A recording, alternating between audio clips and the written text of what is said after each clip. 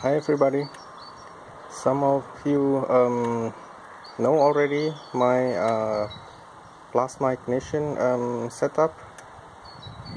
Um, it consists only um, um, three capacitors. They are connected in series, and one side of the uh, capacitor uh, connected uh, to uh, one of the um, electrode of the uh, spark plug and the other side to the uh, other spark plug um, electrode.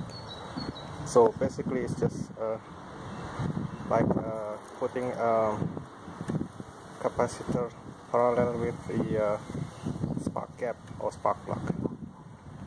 Now I want to show you my um, actual um, setup on my car. Um, so this is my um, this is my ignition system. Um, this is the ignition wire. Uh, I use the uh, copper core um, ignition cable, just like this it has no um, resistance no resistance. And um, this is my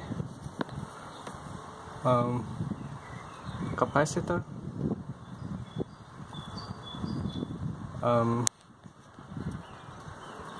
one side of the capacitor I connected to the uh, cable core and the other side I connected to uh, the engine ground.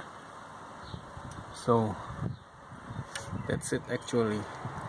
Why I uh, put this um, setup like this?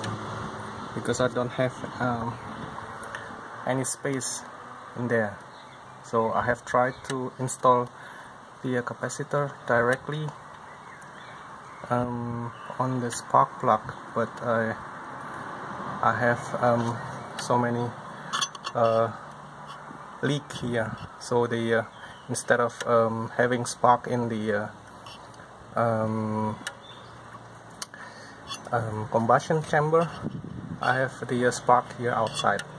So I just put my capacitor over there. Yes. And yeah. That's it. Ah yeah. This is my the uh, standard ignition coil with a uh, standard spark plug cable. And for the uh, uh, spark plug cable to the spark plug I use the uh, non-resistor cable. Okay that's it. Bye bye